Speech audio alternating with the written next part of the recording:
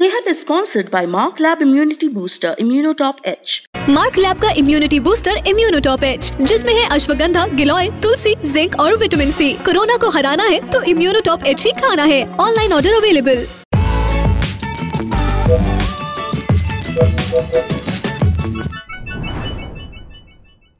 नमस्कार अदाब मेरा नाम है सरवत आप देख रहे हैं सेहत।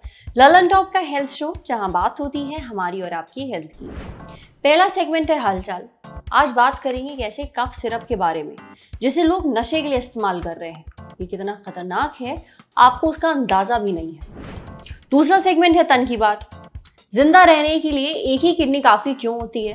और तीसरा सेगमेंट है खुराक, यानी एक झकास सी हेल्थ टिप जैसे रोज एक अंडा खाना कितने कमाल की बात है। ये बात है साल 2016 की। मार्च में खबर आई कि एक कफ सिरप है, कोरिक्स नाम का। बहुत ही पॉपुलर है। हम में से कई लोग इसे खांसी जुकाम के टाइम पे लेते हैं। खैर 2016 में से बनाने वाली कंपनी फाइजर ने इसे बनाना बंद कर दिया। कहा गया कि लोगों की सेहत के लिए ठीक नहीं पर दिल्ली हाईकोर्ट समेत कई जगह इस पर जो मुद्दा है वो उठा। काफ़ी हाई तोबा मची और उसके बाद बैन उठा लिया गया। पर हेल्थ मिनिस्ट्री और ये दवाई बनाने वाली कंपनी के बीच जद्दोजहद जो थी वो जारी रही।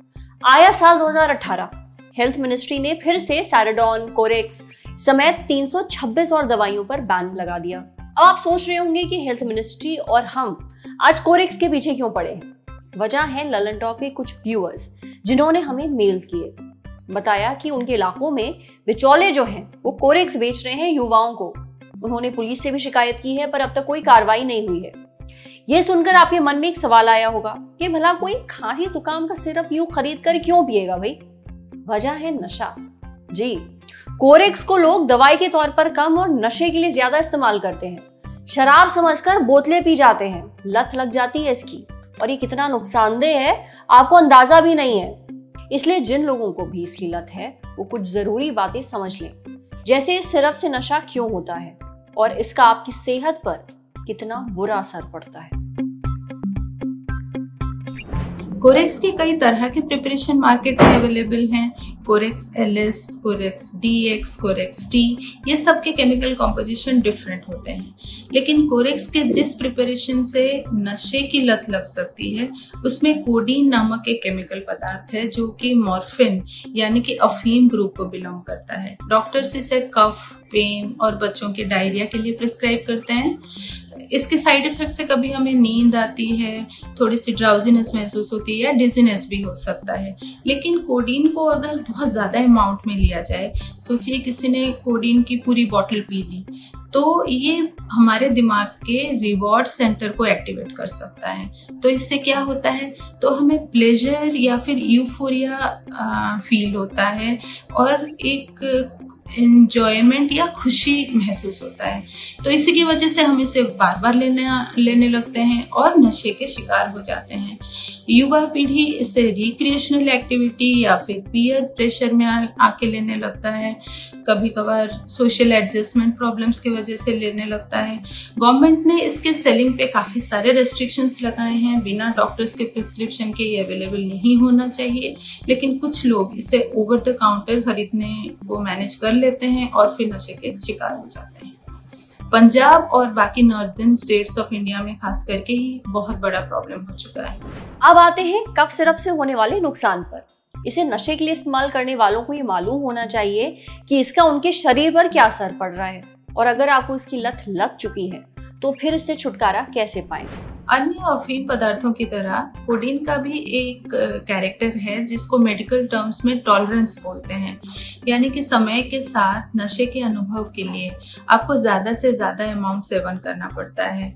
तो इससे कोडीन टॉक्सिसिटी या फिर जहरपन के सिम्टम्स दिखाई दे सकते हैं। एंजाइटी डिप्रेशन ड्राउजीनेस यानी कि सामान्य से ज़्यादा नींद आना, भूख ना लगना वेट लॉस ये सारे प्रॉब्लम्स हो सकती हैं। लगातार ड्राउजीनेस और मूड स्विंग्स के वजह से आदमी फोकस नहीं कर सकता, अपने सोशल रिस्पॉन्सिबिलिटीज और रिलेशनशिप से भी दूर भागता है। इसमें अगर एडवांस टॉक्सिसिटी हो जाए, ज़्यादा दिन तक आदमी इसके नशे के शिकार हो जाए तो आगे चल के लंग इन्फेक्शन और हार्ट बीट में इरेगुलरिटीज और ब्रेन डैमेज भी हो सकता है। जब कोई कोडिन एडिक्ट इसे लेना बंद कर देता है तो इसके विथड्रॉयल सिम्टम्स दिखाई देने लगते हैं। शुरू में हेडेक वॉमिटिंग पेट में दर्द, भूख न लगना, ये सारे सिम्टम्स आते हैं। और बाद में कई महीनों तक psychological symptoms like depression continue कर सकता है। तो लत छुड़ाना डिफ़िकल्ट हो सकता है लेकिन डॉक्टर्स हैं साइकेट्रिस्ट इसके इसका ट्रीटमेंट करते हैं। और इसके लिए ड्रग डी एडिक्शन सेंटर्स हैं जहाँ पर ट्रीटमेंट का सक्सेस रेट ज़्यादा होता है। इसमें फैमिली और साइकोलॉजिकल सपोर्ट की भी ज़रूरत होती है। पेशेंट्स अपने कंसर्न और अपना दुख शेयर करें फ्रेंड्स के साथ फैमिली के साथ डॉक्टर्स के साथ और अपने विल पावर को स्ट्रॉन्ग रखें मज़बूत रखें तो नशे से लत छुड़ाया जा सकता है। सुना आपने? इसलिए अगर आप नशे के लिए कफ सिरप का इस्तेमाल करते हैं या फिर ऐसे किसी इंसान को जानते हैं तो उस तक ये जानकारी ज़रूर पहुंचाइए। अब बढ़ते हैं अगले सेगमेंट की तरफ़। आपको पता है, आपकी दोनों किडनियाँ ना सेम साइज़ की नहीं होती हैं। ये आपके रिप केज के ठीक नीचे होती हैं, पीछे की तरफ़। अब राइट वाली किडनी लेफ़्ट वाली किडनी से थोड़ी छोटी होती है और थोड़ी लटकी हुई होती है, क्योंकि उसे एडजस्ट करना होता है आपके लिवर को। हालाँकि शरीर में दो किडनियाँ होती हैं, पर जीने के लिए काफ़ी है। हर किडनी में ना पंद्रह लाख ब्लड फिल्टरिंग यूनिट्स होते हैं, यानी खून साफ़ करने के लिए मौजूद यूनिट्स इनका नाम होता है नेफ्रॉन्स ये खून से यूरिया नाम के वेस्ट को निकालता है। अब खून साफ़ करने के लिए शरीर को चाहिए होते हैं तीन लाख नेफ्रॉन्स इतना तो एक किडनी के पास आराम से होते हैं। इसलिए एक किडनी से आराम से काम चल सकता है। अब एक मिनट में आपकी किडनियाँ आधा कप खून साफ़ करते हैं और दिन भर में इतना कि एक छोटा सा बाथटब भर जाए।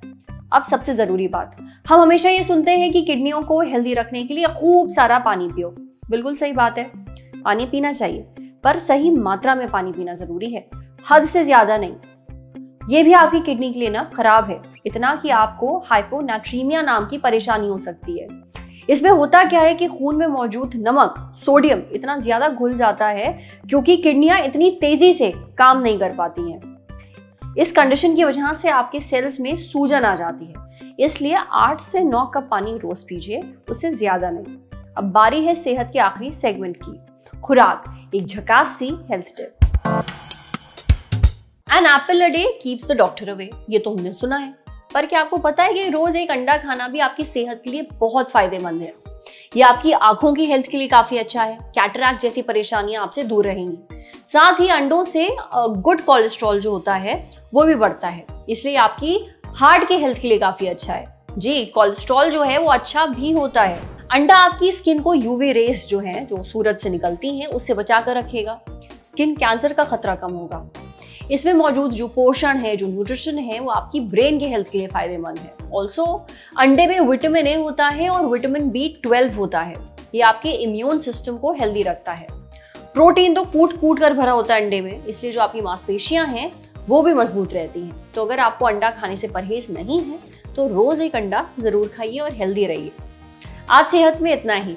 अच्छा अगर आप एक डॉक्टर हैं और हमसे कुछ शेयर करना चाहते हैं तो जो ईमेल आईडी इस वक्त आपको अपनी स्क्रीन पर दिख रही है, उस पर हमें एक मेल भेज दीजिए।